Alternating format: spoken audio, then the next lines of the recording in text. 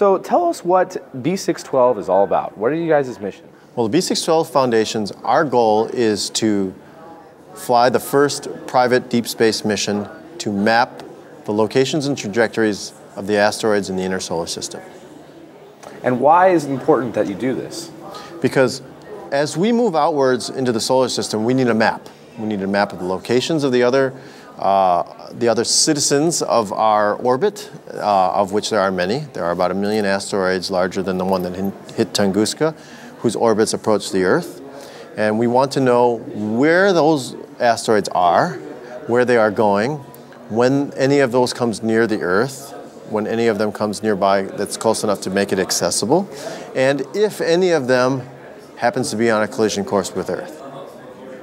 And once you guys do this mission, what, how will the information be able to be spread? Will it be op openly available to everyone, or will it only be used for NASA or, or, some other organization who might go to protect the Earth from some of these incoming asteroids? Well, the, the information will be public. Uh, so our our plan is to is to put the information in through NASA's pipeline, uh, which is run by the Minor Planet Center and uh, that information is public. Uh, tell me a little bit about the spacecraft you guys are going to be using. You're going to be using the Sentinel spacecraft. How did the, that development come about?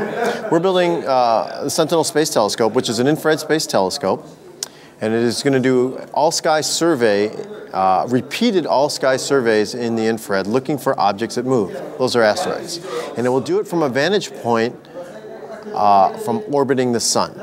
So the Sentinel telescope will actually be orbiting around the sun faster than the Earth because it'll be in an orbit very similar to the orbit that Venus takes around the sun. And from there, we'll be able to always look away from the sun and be able to see Earth's orbit at all times. And that's what it will allow it to uh, effectively uh, make this map.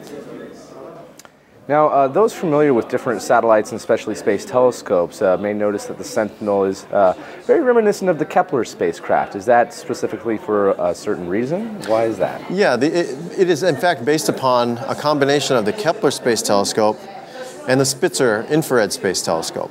Our prime contractor is Ball Aerospace, and they, they built both of those spacecraft. In fact, um, that the commonality in design uh, is something that will allow us to have much, uh, uh, to bring the, bring the price down and to bring uh, our, our reliability up because we, we know how these operate.